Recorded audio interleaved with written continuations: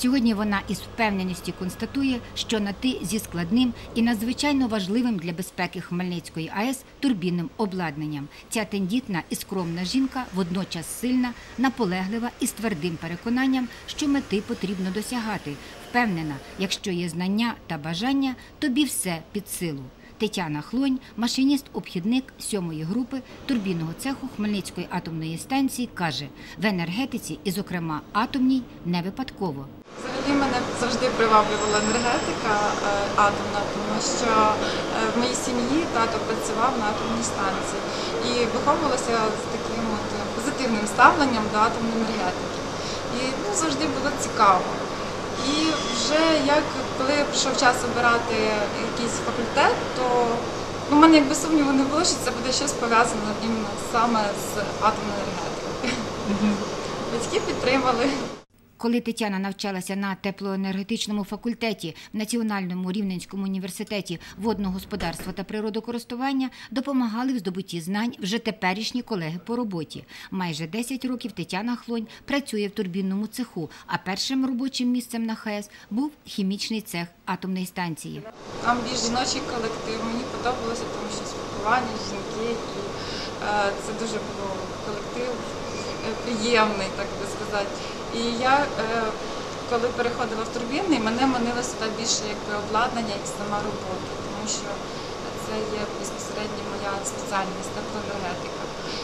Е, Коли я Як цей прийшла- зустрів чоловічий колектив в турбінному цеху? коли я прийшла в турбінний цех, я була приємно здивована, тому що так само колектив дуже дружний, дуже привітний. Е, Хлопці завжди уважні, нема грубого відношення. І нема такого ставлення, що от ти дівчина, і ти там не розумієш ще щось чого. Е, Спочатку, коли всі навчалися, всі е, намагалися допомогти і підсказати, і також е, е, підтримати. Тобто вони розуміли, що колись вони так само навчалися і чогось не знали. Ми підказували дещо.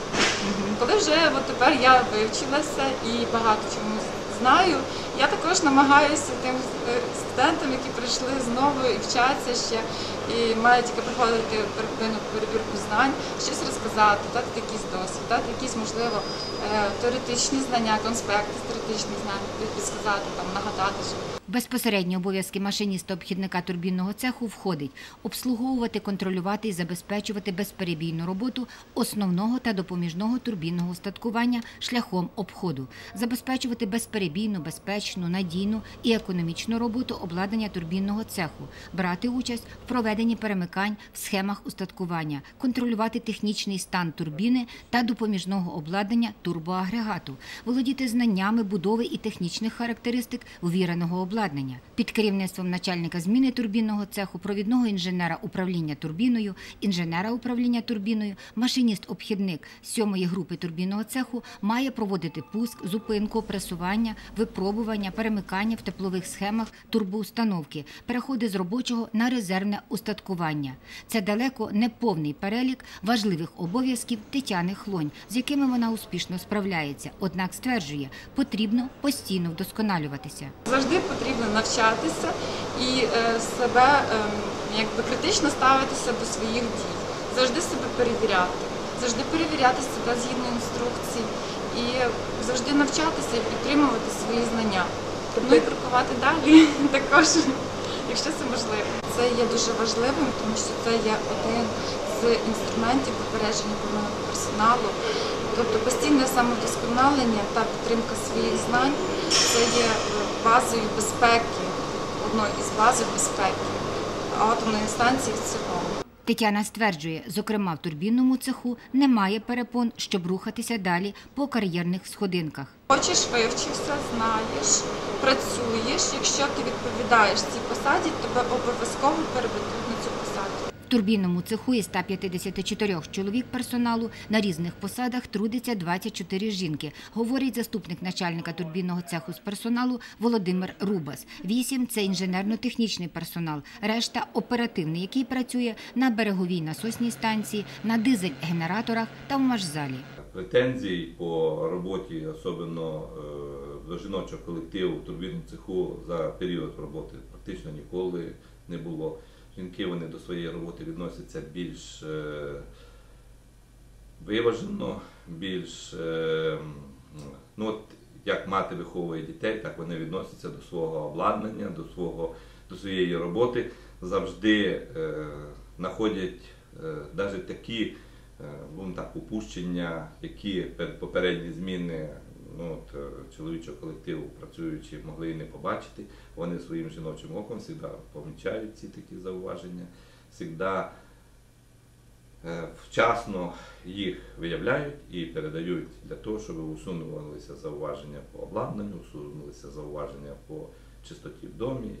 Ну, і працюють в е, колективі завжди відповідально. Перейти з однієї посади на іншу, отримати підвищення по роботі може будь-який працівник турбінного цеху. Головне знання, професіоналізм і спрямовані зусилля. Якщо посада е, і людина відповідає рівню знань, рівню е, своєї е, ну, тобто відповідальності, е, тобто, ну, таких ущеблень немає.